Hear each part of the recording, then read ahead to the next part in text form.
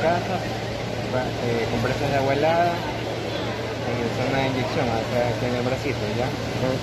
Paracetamol en el caso de fiebre, malestar y el baño. Gracias, mijo. Este video nos llega por interno, eh, manifiestan que es en Guayaquil, no tenemos mayores datos, pero si alguien conoce a esta persona que supuestamente están poniendo la vacuna, si tienen algún tipo de información, por favor no duden en escribirnos al suelo de la verdad. Queremos llegar hasta las últimas consecuencias si es que esto es en el país.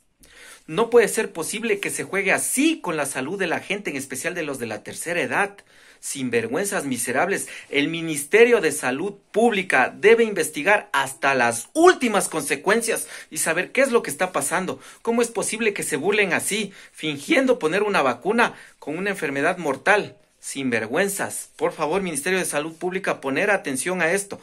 Y a la gente que va a hacer vacunar, a sus familiares de la tercera edad o que están en primera línea, por favor, no se despeguen la vista, filmen, tomen fotos de que les pongan la vacuna. Ya basta de estos abusivos. Tenemos que exterminar con este tipo de corrupción que juega con la salud de la gente. Esperamos respuestas. Somos el suero de la verdad. Comenta, comparte y dale like. Nos veremos en un nuevo video. Chao, chao.